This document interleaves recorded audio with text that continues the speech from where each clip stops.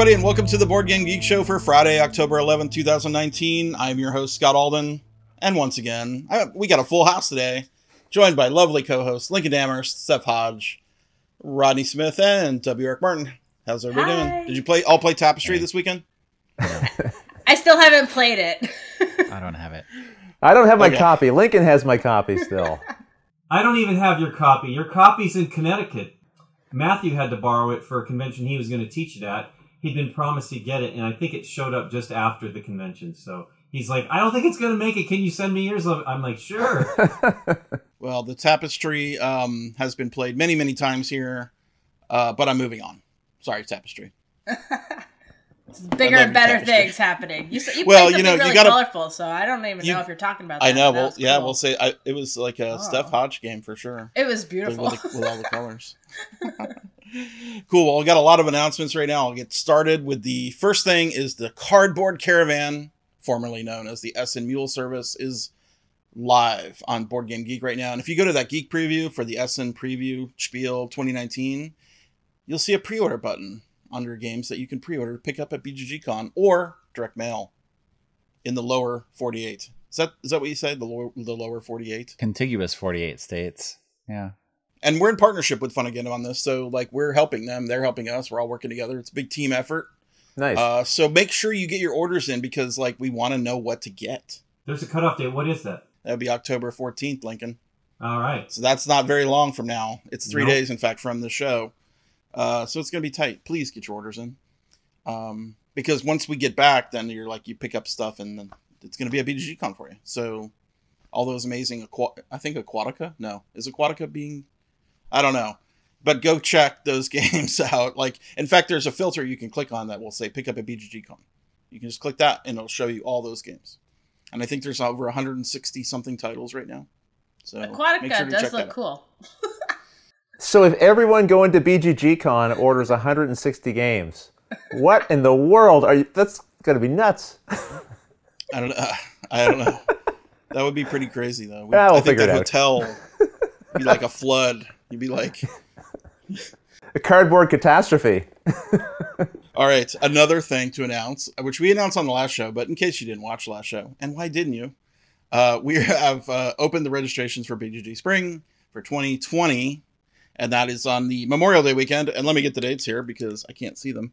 22nd through the 25th, 2020, and that's at the Hyatt Regency DFW in the in the Hyatt Regent in the DFW airport.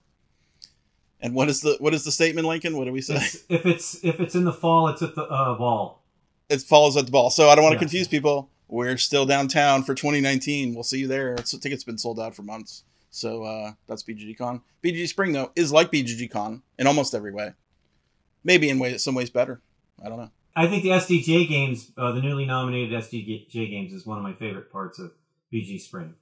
We do have confirmation that the Spiel des Jahres judges will be there. The, the jury members will be there on hand to teach the games. That pretty sure that's there from their mouth. So things, of course, may change, but we'll always have those games there. We will. We will definitely have them. Will we Regardless be hosting jury's there. another charity sale at the same time? Uh, the charity sale. Yes, so we're going to basically get into the cycle where spring we're doing the charity sale. In the fall, actually, I should announce this too. Look for the. it hasn't been posted yet. This is not a time travel trick. Um, silent auction for Board Game Geek. Not silent. virtual. What do you call it? Virtual flea. Not virtual flea. Sorry, I'm real confused right now.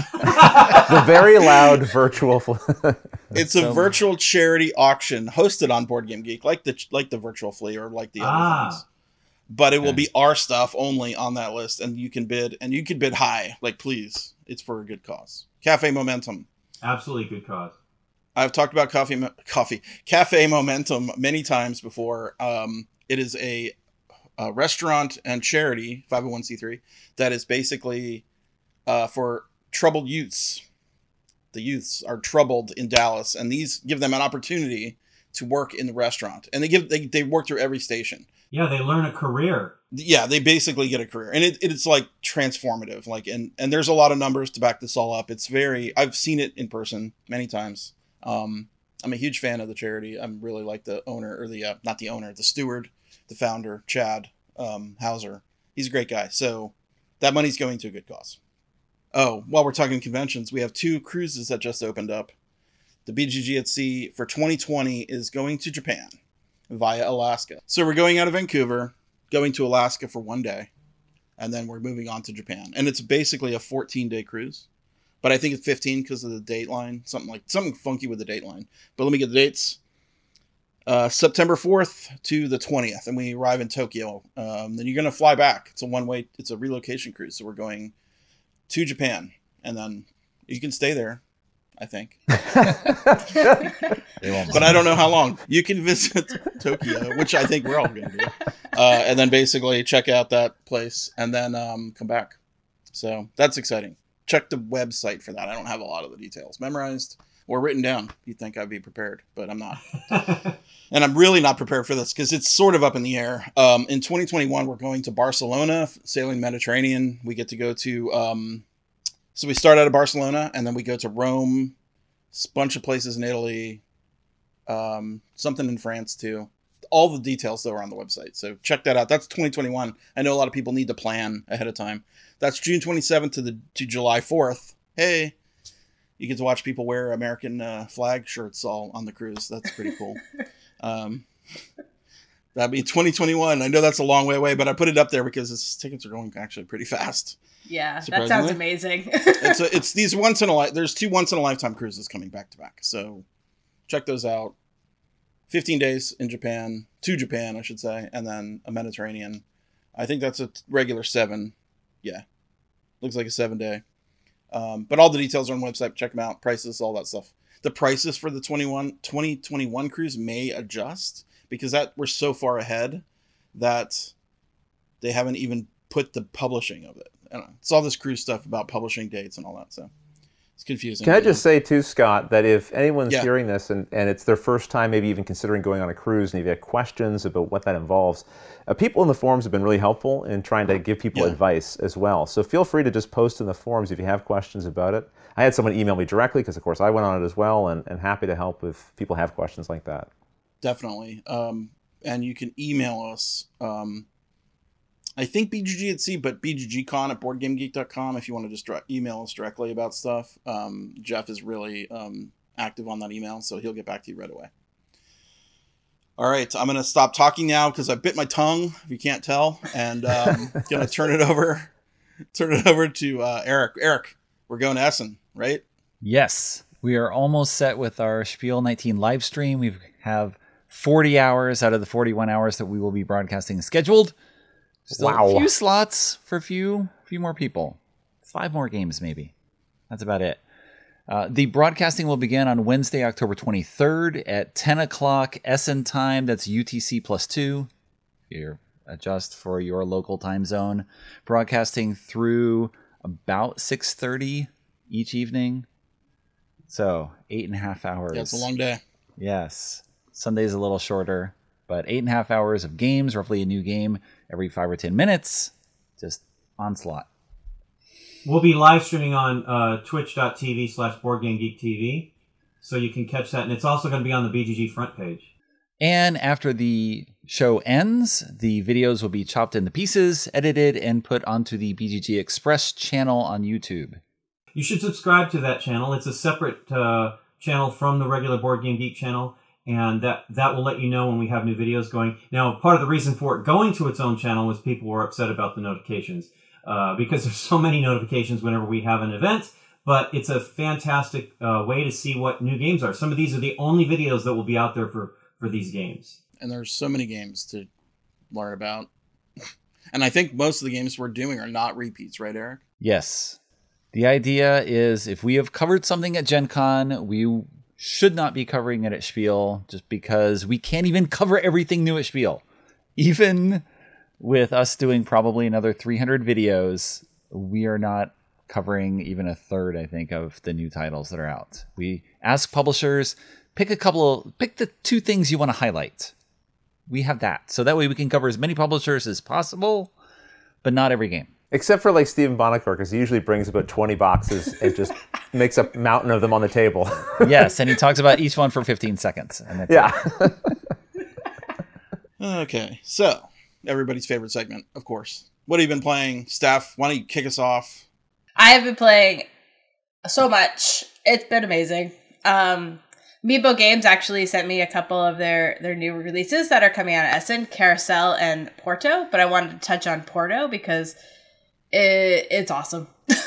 um, so it's really kind of light, and I it it kind of gives me the feeling of Copenhagen, but not. So it has the pretty pastel colors. You're bu- you're building up these buildings, but instead it's a competitive one board everybody's building to the same board where you're trying to c- get your goals for different building patterns and get points for these building patterns um, so you're placing you're either drafting cards or you're placing floors down in these buildings and um, the whole production is just gorgeous and i played the solo mode and i lost i like i lost it was so hard um, and I also got to play it two player, and it, it was awesome. It, it works both ways really well. So if you're a solo gamer, that's good news.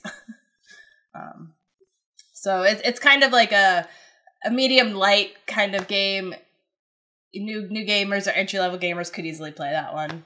So is it like a dexterity game or is it a strategic? Oh no no no! It's a strategic. You are collecting cards, and these cards will have numbers one through three on them, and it what you'll use one card to tell you how many floors and the other card will tell you what color floors and you're building up these buildings it's like it's sort of abstract but not it's more take the best chance to get points when you can because there's common goals and you have your end goals so you're trying to just work with what the board is giving you at the time when you can so um, it's not dexterity at all Okay. And that's by Mebo coming out in the US, maybe? well they did get Ar- uh, ariel uh, i don't know how to say Ar- it properly Ariel? It's not- I, Ariel, don't think, yeah. I don't even think that's correct. Yeah, yeah, Ohio or s- Oh, right, yeah. who knows? Hopefully, Porto will get picked up as well because you know who knows. I hope so. It's really good. Cool. Yeah, uh, Eric, what have you been playing? So I have been previewing as many Spiel titles as possible. Uh, one of the ones people are really looking forward to is Last Bastion, the new version of Ghost Stories by Antoine Bauza and Repos Production. It's interesting if you played Ghost Stories. It came out in 2008. It's uh, like a different era at that time. Yeah. Um, had a couple of expansions. It got very convoluted. There's lot, long FAQ answering all sorts of timing details.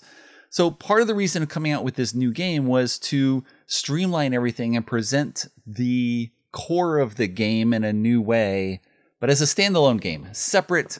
It's not Ghost Stories. It is a fantasy setting where you are defending a castle. So the gameplay feels very much like Ghost Stories. So you have a grid of three by three tiles, each one with a different power. Each player is a hero. Each hero has a unique power. You are trying to defend this castle against monsters that are attacking it, along with one or more warlords, depending on the difficulty level of the deck that you set up. Monsters come out on the colored board. So yellow will go on yellow and blue on blue and everything. Yeah, everything's all very familiar. Uh, the black monsters come out on your board if you draw them from the deck on your turn.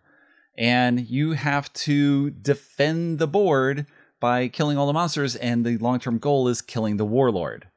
So at the start of the turn, monsters have effects. Usually there's these grasp of evil tokens that move onto the monsters and then start sweeping across your board. And if you get three of those on your board, you lose the game.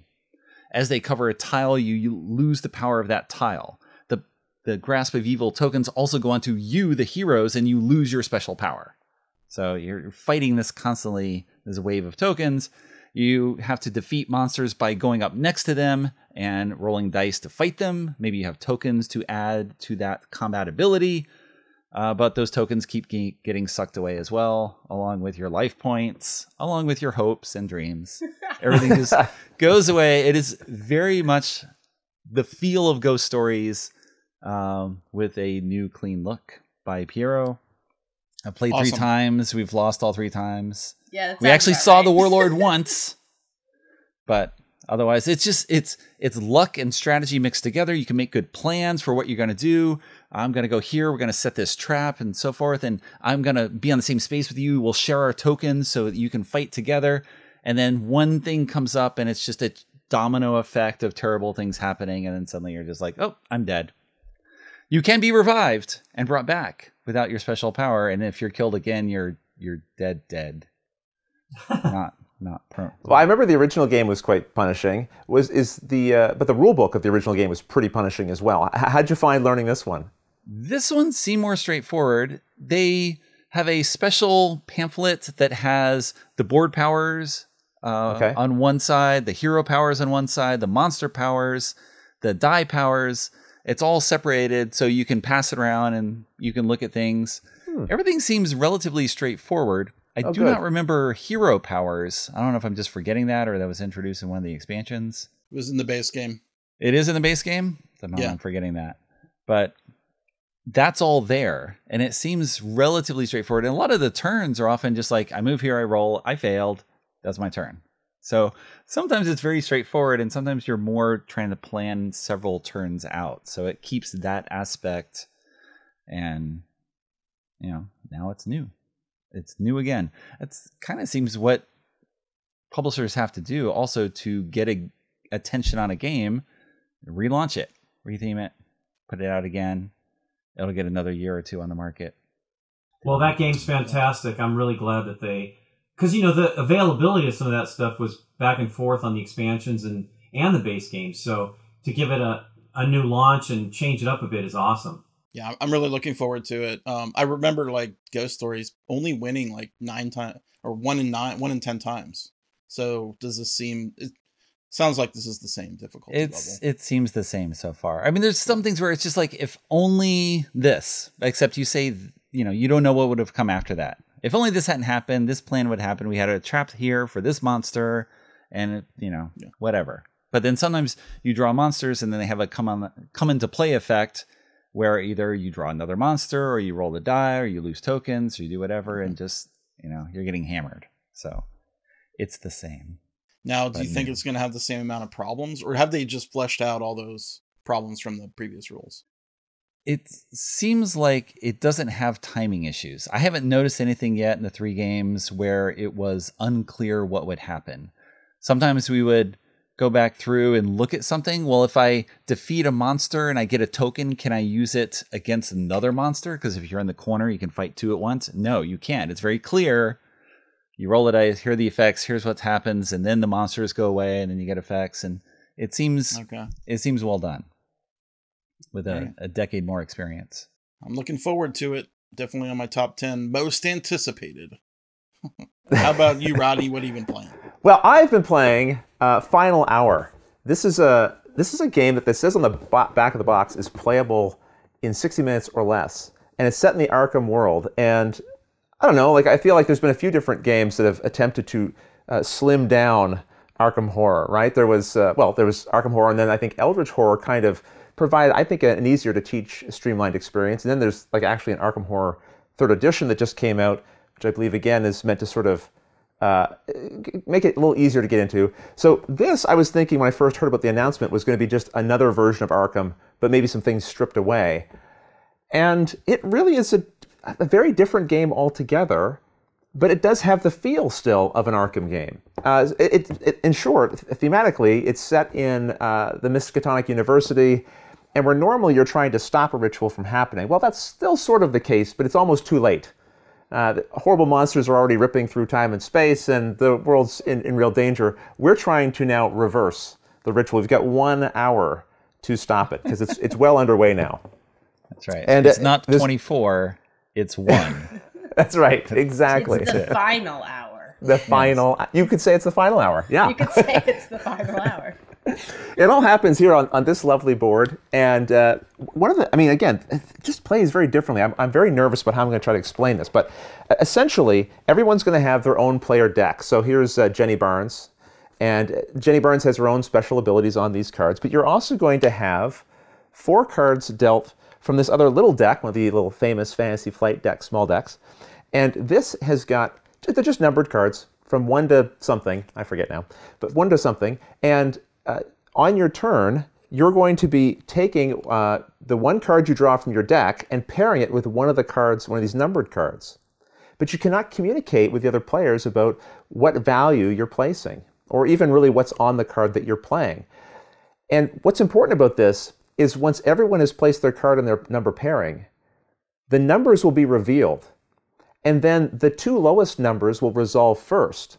And every uh, ability card that you have from your deck has an upper and a lower half. The first two people will get to resolve the upper half. The second two people, the ones with the two highest numbers, will have to resolve the bottom half.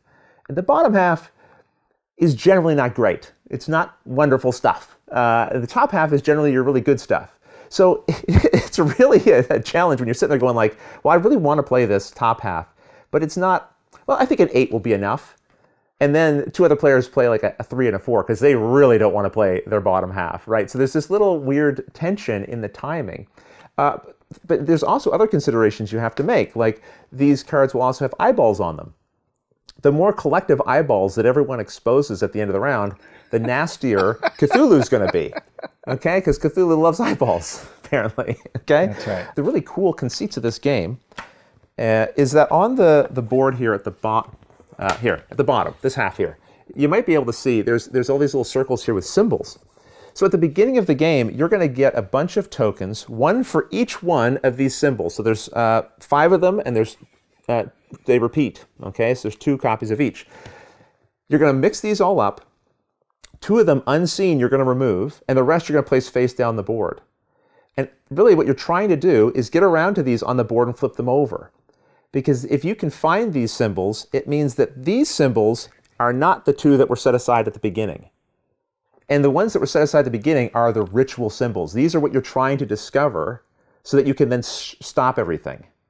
So you're running around the board trying to uh, investigate these symbols while fighting monsters and keeping the university being, from being overrun so you can try to deduce what the last two symbols are. Because at the very end of the game, to win the game, what you need to do is have some cards in your hand left over. The numbered cards also have the, the ritual symbols on them. You want the, the ones that match those ritual symbols so you can collectively play enough of them to win the game. It's a little bit difficult to explain in the abstract, but I, what I really wanted to emphasize is that it feels like I said, the, it feel has the oppression of an Arkham horror game where everything's just going to hell in a handbasket. But it does play quickly, and it is very different. It doesn't feel like any of the other Arkham games that I have. So I'm very happy to have this in my collection, and everyone I've played it with has really enjoyed it. And it does play in under an hour, and it's a really uh, tense hour. I've only had one game where it was kind of a cakewalk. Uh, every other one I've played has been right down to the wire and there's different levels of difficulty as well. So I, I think if you like Arkham uh, and those kind of games, and you like a difficult co-op, uh, this is one I'd recommend. Final hour. It's hard to investigate too.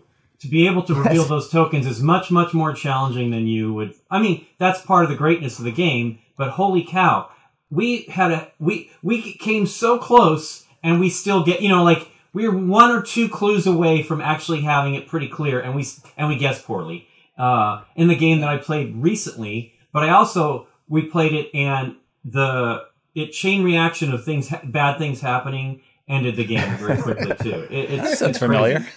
Yeah. it sounds like an Arkham game, doesn't it? Well, that's something interesting, Lincoln, that you brought up, though. I'm glad you mentioned that because that's one of the neat things about the game is even if you don't know what the final two symbols are, hopefully you've eliminated enough of them to have a sense of it's. I think it's one of these three or one of these four. Well, as a last ditch effort, you can just guess as a group. Like I think it might be these two symbols, so I'll play as many of those cards from my hand as I can. So you you can sometimes get a very nice dramatic lucky win at the end if you're lucky. Well, plus you got to hold on to the right cards. Having Yeah. the, the wrong symbols on the cards for ones that are disqualified, right? You know it's not these. So Yeah. you're trying to make up the, the best way you can amongst, like, which card should we spend so that we have something at the end here to even submit an answer, right? You know? That's right. That's right. You're, you're, you're actually you're saving the cards and you're worrying about how many eyeballs are on there because you don't want Cthulhu freaking out. You're worrying about the, the value because you want to play maybe a low number versus a high, and you're worrying about the symbols because you want to collect them for the end of the game. Yeah, there's a, there's a lot of fun little tensions there pulling you in all directions. Yeah, it's, it's spectacular. That sounds amazing. Lincoln, what about you? What have you been playing lately? I got to play finally the full on version of Funkoverse. Uh, we played it on the cruise, the Funkoverse strategy game. We played uh, Harry Potter, and um, it is fantastic. I'm going to pull a little bit of a Rodney here. I've got the game board. This is Diagon Alley, which was fantastic, and it has this really great um, video game type system where you can play your cards. So your character card has what color tokens you can use, you need to use to do your special actions. And one of the cards, uh, one of the actions on the Harry Potter one was Flipendo, which is fantastic. But you spend the token, and this puts it on. This one here says four, so you put it on this cooldown track, which is very video game, and you put the token on here, and it stays. And then uh, at each each time, it'll it'll drop down one level, and then once it finally falls off, you can actually use that token once again. Um, and it's fantastic because you have these powers that you're desperate to use, but you have to time them properly because the way it works is the um, start player marker it goes from one side to the other then it repeats right they'll be their final turn because they're not the start player then they're the start player so you're trying to time up a double turn with the with right. the powers that you have and you only get at most two symbols of each kind um, and the the way that all works out is really great i love the cooldown track you're really trying to should we spend it now should we hold off can we pair it up so that's going to work out and there is a little overlap because in the case of Harry Potter and Hermione here, they both use the yellow. And the yellow is very, very powerful for Harry. Not so great for Hermione. Still not bad. So do we use it for Hermione? This is a pretty great thing. Some of the things like advance the tokens back to you, but you're like, well, we've already spent both of them, so we're not going to be able to do that. Um, it's great, and I love the way that the characters, you know, that of course they have the fantastic Funko characters, miniatures, and it's another size. You know, everybody's going to buy this game just because of these. Uh, t- here's me trying to yank them out. They don't come out easily, I'll tell you that. But we'll look at uh, Voldemort here. Voldemort's fantastic. He's a little bit bigger uh, than the little tiny ones we've seen, and much smaller than the regular ones. Uh, the only funny thing for us is like figuring out. We had to decide when they fall down on the board. So when they're down, how do we do them? Is it going to be based on their head or their body? We decided since their right, head was a big yeah. thing, we would do it with that. Um, really, really, really great. I, I thought it was fun before, but playing the true game is fantastic. And one of my favorite elements is there are these, in this game, we were playing basically capture the flag kind of a thing. Um, you put these tokens on the board, and these are win tokens, but these are temporary. So you put them on the cooldown track, and they stay there until they drop off. So if you can meet the win uh, conditions while these are still on the track, they count as victory points for you to win. Uh, it's not they're they're not really victory points. They're the uh, objectives, right? So you, in, in this game we needed six. So if you could have some of these on the board like this while they're in play, uh, then that counts as uh, the conditions. We, I don't think any of us, maybe we did it on our team, but uh, the other team could not. They just kept going down too quickly for you to actually make it work. But it's fun because it's a neat little uh, pressure to get your timing done as fast as possible. Really, really great game. So you played it with four players? We did play it with four. It is a two-player game, but it plays great with four actually. Okay, because um, I've only played it with two players, and I really liked controlling two characters, but I could see how being a team could be fun too. It's fun to talk that stuff out. We uh, we played with AJ, and he was just great. I mean, he's a video game guy too, so he was like really thinking in those terms. It was really fantastic. What have you been playing, Scott? Funnily enough, I'm also have been playing a dueling game, much like Funkoverse. However, this one is up to not level nine or ten complexity. It's called Black Rose Wars, which was a Kickstarter from. I feel like it was three, two. It's probably at least two years ago. Finally got delivered. Wow. We cracked it open. We cold read the rule. I mean, we opened it up and it's just lusciously filled with very colorful um, map tiles. Steph, you would love it. Oh uh, oh I mean, every every tile had like a rainbow sheen, right? I mean, it's very cool. Um, uh, uh, basically, the premise is it's four mages. Well, in a four-player game, they go to the lodge to battle it out to see who's like the best mage in the Black Rose I don't know. Like the universe is a little weird. I didn't really read the backstory, but uh, the cool thing is, is you get to mix and match your um your mages. So you like can start out as a necromancer, which is what I did. Um, and you can add every turn to your um your grimoire more spells from other schools of magic. And I believe uh, with the expansion there are seven. So you could since I started as necromancer, I added a little elemental magic, and then I added a little myth magic, and I added a little disruption magic. I don't know. There were, there's a whole bunch of different types, which is cool. So I'm basically building my spell book as we're playing. Now I should not like this game because I don't love programming games. However, you pre-program your turn by putting spells on your player board, and then as you play the turn, you're exposing them one at a time, right? So I'm casting a spell, I'm moving. I'm casting my second spell, doing something else, and then I'm casting my third. Once I've cast all my spells and I've done all my moves, oh, I also have a quick spell which I can do in uh, in addition to a standard spell. Then my turn is done, right? So turns end early or later because maybe I don't have as many spells. I'm building up power. Hmm. Someone plays all their spells. They're doing like 10 things. So it has that kind of cool do I hold back now, build up power, or do I go all out and try to kill as many mages as possible? Uh, victory points. It, so this is a killing game. You are de- you are defeating other people. Points are scored by defeating other mages. You um, finish quests. There's secret quests that you can get, uh, and also destroying the lodge itself. So basically, as you cast spells, they're so devastating that they do damage to the rooms you're in. And, and when a room gets damaged, the person who did the most gets to claim the, the trophy for that room. I don't think these wizards are getting invited back to the lodge. but the lodge, man, I mean, the uh, the black rose regenerates the lodge every time. I don't know what what the thing. So there's this Oh, mysterious okay. black rose room, which is we're like, what is that? Oh, it doesn't come into play until midway through the game, and the black rose room lets you get very powerful, like very overpowered spells called the Forgotten. Um, and once you cast one of the Forgotten spells, it's out of the game. So it doesn't like get, let you keep doing it. Uh, for instance, my Forgotten spell was basically I would turn. What was it? I no, I would. Uh, I had a, I had a ba- You draw three and you pick one, right? One of those things. So my spell was like something about like revenge is sweet or sweet revenge or something like that. Where if someone killed me, I would not die, and instead they would die, which is crazy, right? Because you're playing this game in order to kill people. So I'm like, I, I, someone of course, and the, the damage is bloody in this game. You're summoning monsters. You're moving those two, and they hit hard. You are casting direct damage spells. You're setting up traps. You have protection. I'm overwhelmed by the amount of stuff in this game. We're, we were all kind of blown away. As we're reading things, we're like, wow, this game has that too, and that, and that, and that. And it's very, it's definitely not a beginner game. And if you don't like, take that, because this is all about zapping people and setting up traps and accomplishing goals. Um, I would not recommend it to the faint hearted. You're going to get killed, and you're going to get killed a lot. Um, Even if you kill Scott, you're going to get killed, apparently.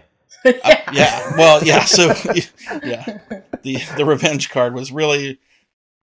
There was a little saltiness at the table. I have to I'm say, sure. because we're Euro gamers mostly. But when you, you know, when you pick on one person, it kind of it gets a little like. You have to be prepared for that because if you're the Yeah. target, if I, as a programming game, if I've set up my, you know, whirlwind spell and you're not, and you're the only person in the, in range of me, you're getting it in the face, right? So it's it's sort of one of those like yeah you're you're at the wrong place at the wrong time. So you're getting the oh my god the meteor storm. Was let me just explain one scenario.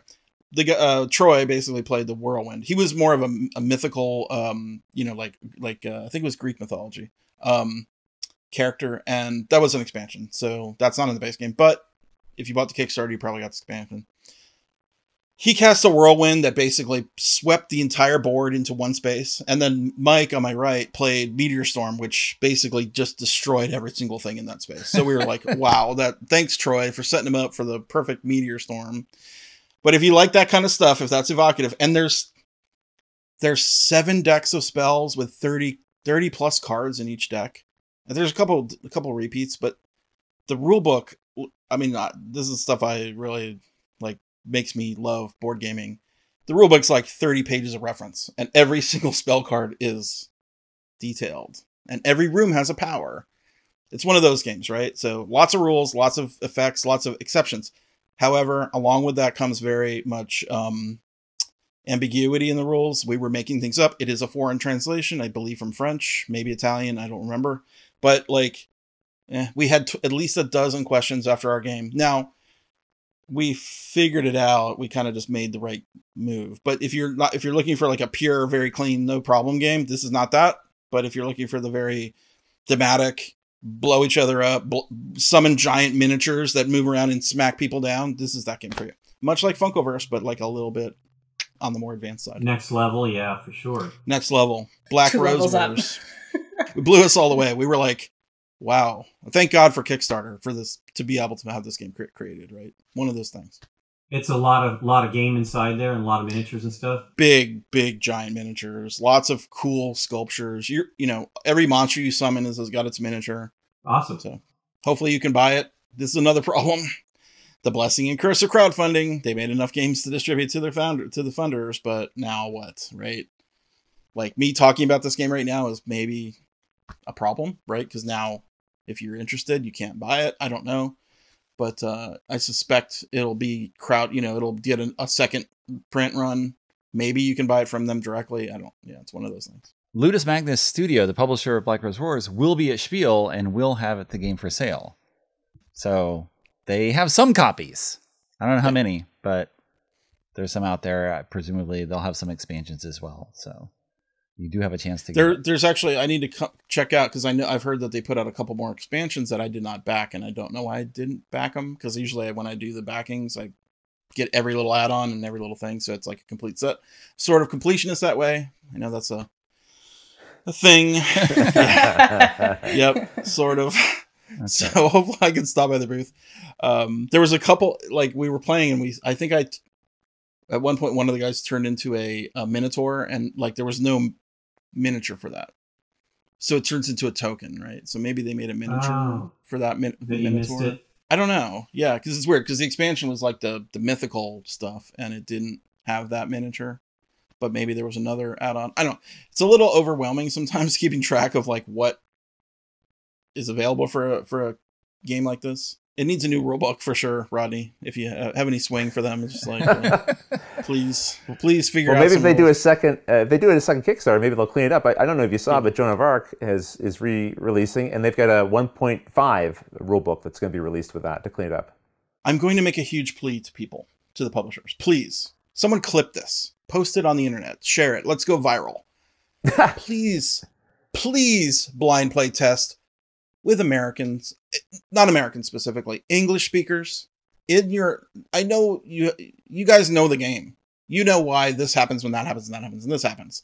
You know the game. You made it. We don't know those things. If I recorded our gameplay video for you, you would be horrified. We blew it apart. Please let blind playtesters with English speakers with your English rules. Please. The community. We Board Game Geek is a, a 2.2 million users. We just we just crested that point. There's a lot of people out there who will do it for you. Probably for free or for a copy of the game at a minimum. But please hire somebody who wants to do this. It's important. It'll make your game better. There we go. Clip that. I endorse that wholeheartedly. yeah. I love you. You make amazing games. There's problems though. a little bit of a little bit of problem. Anyway, okay. Moving on. Let's move on to some news. Eric, I think we've got a big announcement. So what's the deal with the new Gloomhaven, Eric? So Isaac Childres was at the SHUX convention, the Shut Up and Sit Down convention that took place this past week, Last weekend. from when this is recorded, and made an announcement of Gloomhaven subtitle, which is not the official name of the game. Apparently, that's a placeholder. Isaac doesn't want any meta meta references there. So the idea behind Gloomhaven subtitle, name to be finished later, it will be coming out in Q3 2020. It'll be a 24 scenario campaign with what you need to play sort of as at a minimum with a 40 to 50 dollar price tag. Things still to be determined. And talking about the game on Twitter, which is the only place he's been talking about it, he mentioned uh, when people were suggesting names that he'll have to talk with Target about that. So, probably a Target exclusive item.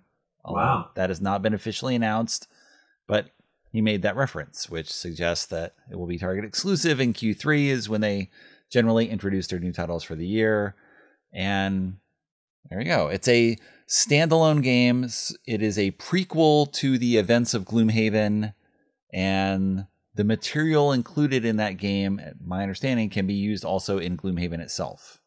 So characters and other things. So There are three, I believe, many new classes. and fewer scenarios. Like there's not the 1365,000 scenarios like in the main Gloomhaven. It's just like it's like what 13 or maybe 24. I, I can't remember exactly how many, but it just I was so excited because 24. I haven't played Gloomhaven. I look at it and go, I would love to. It sounds amazing. Uh, Isaac's obviously done something really ambitious and cool here. I have no idea where that would fit in my lifestyle. Uh, and this feels like something that, oh, this this is approachable. I could actually maybe get to enjoy the mechanics of Gloomhaven Right. and actually fool myself into believing I might actually be able to complete this one. You know, whereas with Gloomhaven, I know I can't. This is the version for 40 year old Rodney, whereas the Yes. original game is 20 year old Rodney. That's right. Exactly. Yes, Exactly. Pre family. Yeah, Though there's no legacy elements in this game, as I understand. Right. No stickers all- or anything. I don't think. No stickers, no envelopes, no hidden puzzles, stuff like that. And this is not a Kickstarted item, direct to stores or store. Store. Target has a lot of stores, if that is it. That's a real score for Target. Scott messaged me about it. He's like, "Hey, you can maybe finally play Gloomhaven on game night." So uh, it's Yeah. definitely a possibility. That I think that definitely could happen. If this is indeed a Target pickup, yes, it's great for them eh, because part of what they seem to be doing is not just broadening the type of games they have for their own customer base, but pulling in customers who will then also recommend other people go to Target to get more games. So the casual person looking at this, I'll be curious to see how it's marketed to them and how it's explained on the back of the box. Usually on the back of all those boxes, you got a one, two, three scenario of how to play.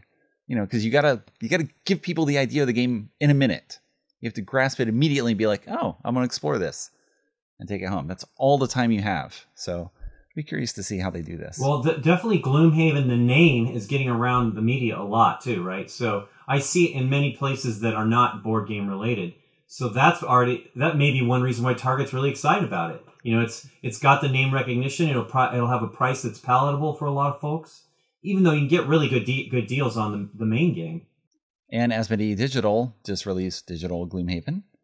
So that will as well cultivate a customer base for it or give people additional way to get into the game.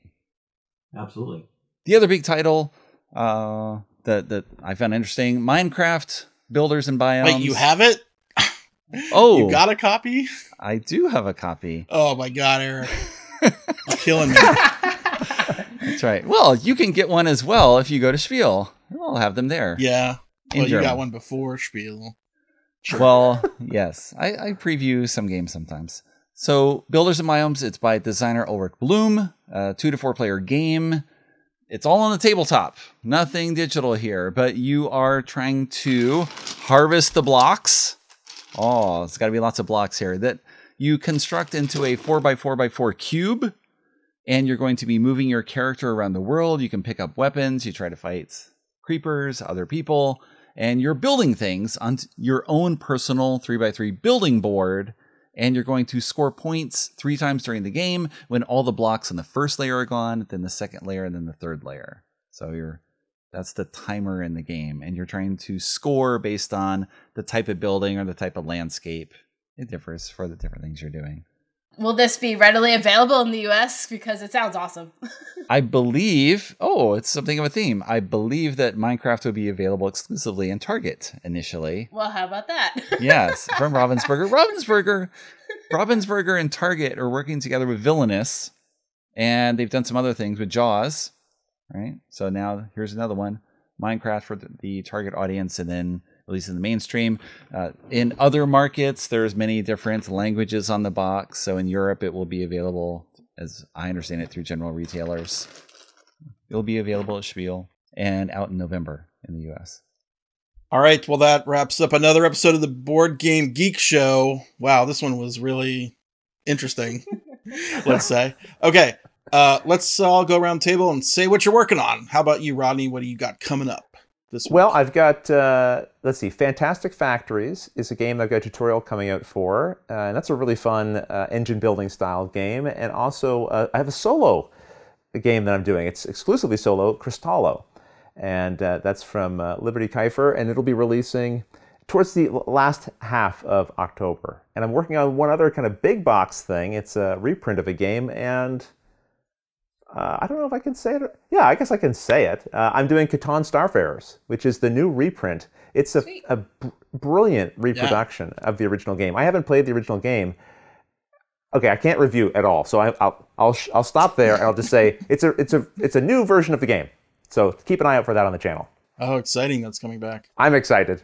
I'll say that much. Uh, Lincoln, how about you? Uh, well, we have we filmed a bunch of game nights recently. Uh, trying to get a bunch of folks in before we go to Essen and have episodes ready because we have a, basically about a month of uh, convention type stuff happening where we have very little time at home. So we filmed, uh, as I said, Funko Pop uh, Harry Potter, and we filmed uh, Planet from Blue Orange Games, and we uh, have some more filming this week. So I'm and still trying to prepare for uh, Essen. So it's a tremendous amount of stuff, but good stuff coming. Steph, what have you got going on? Oh, so there's a really cool new show on BGG, the YouTube, called 10v10 with the Murph Brothers. So I will be joining them um, in future episodes to help say what my favorite 10 games are, uh, alongside with the BGG list that everybody votes on BGG. So that's an exciting new project. So is it top 10 by mechanism or theme or category or? It can be anything breakdown? that we choose, right? You could pick top ten Reiner Knizia games, maybe. I don't know, some all kinds of stuff, right? Anything that's got a lot, a big value, uh, pool of stuff to choose from, and see what we match up with, what we don't match up with. We might end up running polls and stuff like that to see, uh, to de- to determine like the uh, because not everything can be selected as a group, right? Um, on BGG, so maybe we have polls in advance and stuff like that, but. Uh, it's fun. The first episode went up last Friday, and at, right now it's probably going to be every two weeks, hopefully. Um, maybe more, maybe more, maybe less. We got to see how much effort it takes because it's there's actually research that has to happen on on that show. So Can I choose a top ten? Yeah. Top ten games with sheep. Oh gosh, I have 10. I definitely have 10. Right. with googly eyes. Anyway, do the brothers Murph So- have ten? have you picked your next topic yet, Steph? Have you got? Have you I all believe, decided on um, the topic? I think it's cooperative games. Oh, nice. Definitely a category I love. Oh yeah. Me too. Me too. Eric, how about you? I know you've got um, bold plans for two the next two weeks. Yeah, What you- we'll we'll see how much I actually get done. I got certain things to focus on, like perhaps the Minecraft game. Should probably show that off since people might be looking forward to what it is like to play. Um, more definitely, Pharaon. It's a one to five player game by Catch Up Games, a French studio, in which you are all youths who are trying to prepare for the afterlife, sort of as a pharaoh. You gotta you gotta take care of things in the life and then the afterlife as well. It's resource collection, get do That's such an overdone points. theme. Oh my Yeah. gosh. No, it's. I mean, it's it's a standard sort of Euro game with collecting stuff and doing stuff with the stuff. You know that type of stuff. Uh, but uh, uh, but the the rule book is fascinating. As a child of the pharaoh, you will dedicate a huge part of your life to preparing your journey in the afterlife. Each of your actions will be judged during the weighing of your heart. I like it. Yeah. I'm intrigued. I, I love themes that I just don't ever expect to see, and then boom, someone does it. It's great. That's right. They could lean in more with a promo with actual hearts. I don't know. Just something at Spiel to, to really drive that home. We'll see. A few canop- canopic jars filled with bodily fluids and Yeah. organs. Yes. Oh Customs goodness. will love that. I'm working on a um, programming thing. Not going to finish it before Essen though, unfortunately. We're trying to make the site responsive, everybody. Remember to use on your phones, tablets, other computer things that don't have, you know, 10 million pixels wide. Um, yeah. So I'm still working on that. It's a process. So not exciting, but It is exciting to be able to use it all. it's exciting internally. Hopefully, it'll be exciting to you when we uh, launch that. It would have been exciting to us this weekend when we searched for all those Black Rose uh, rules. Hmm. all right. Well, thank you everybody for watching. That wraps up another episode of the Board Game Geek Show. Thank you to my lovely co-hosts, Lincoln Damerst, Steph Hodge, Rodney Smith. I almost said Rodney W. Smith, Rodney Smith, W. Eric Martin. I'm your host, Scott Alden. Thank you for watching, and thank you for subscribing and clicking that bell to be notified of new episodes. And watch for us live from Spiel That's starting right. Wednesday, the 23rd of October. We will have a live BGG show from Essen. And that'll go up on the regular BGG channel after we return. Thanks, everybody. Bye. Bye bye. Bye bye.